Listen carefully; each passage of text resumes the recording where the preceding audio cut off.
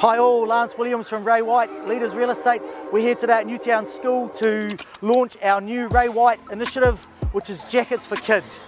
Our aim is to have every kid in Wellington warm and dry with these fantastic new jackets.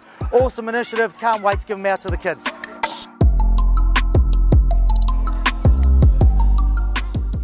Kia ora koutou, ko Lance Williams toku ingoa, Ray White, Leaders Real Estate, ahau.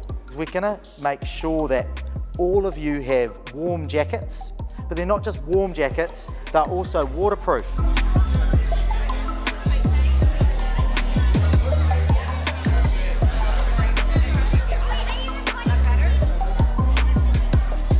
So these are the jackets that we've got here. At Ray White, quality is really, really important. So we're really proud to be able to give something out of really good quality.